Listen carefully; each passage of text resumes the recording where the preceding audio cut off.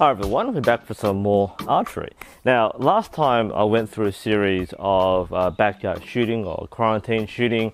Uh, we went through a series of well, all my bows or most of my bows. Now, this time around, I'm going to uh, feature instead of bows, shirts.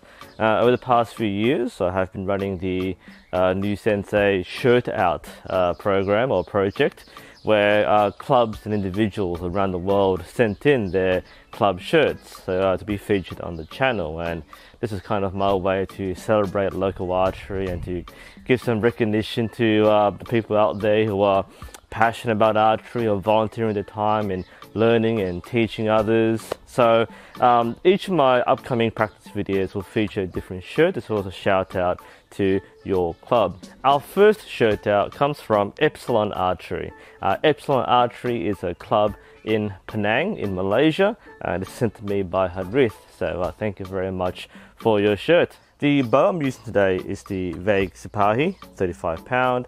I mentioned in my last video that I was planning on slowly getting back into archery, uh, not going overboard with uh, high draw weights and fancy bows. Uh, so I'll be shooting a bit more of this bow. Uh, also, I found my thumb ring pouch. So I've got my better fitting thumb rings and hopefully we should see some uh, smoother shooting and smoother action.